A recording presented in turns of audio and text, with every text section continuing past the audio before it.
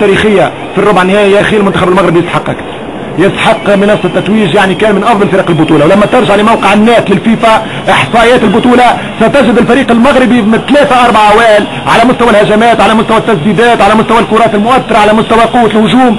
اذا في إمكانيات في إمكانيات دعنا من أداء مشرف وأداء يعني مخيب الفريق المغربي بإمكانه الوصول. وان شاء الله يوصل تمشي كرة للفريق المغربي. يلا إمكانية. يلا رقم 8 يلعب كرة سفيان بن زويل هي لماذا اليسار؟ لماذا الفلسفة؟ بونكا آه من ثالث آه من قائم.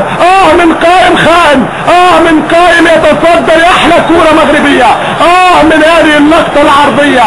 آه من أقوى كورة مغربية. شوف الروعة. شوف يا كورة يا كورة يا كورة. ماذا سأقول؟ ماذا سأقول؟ بماذا سأشتمك بين ذفرين ما هذه اللقطة الكورية أو القوية للكورة المغربية؟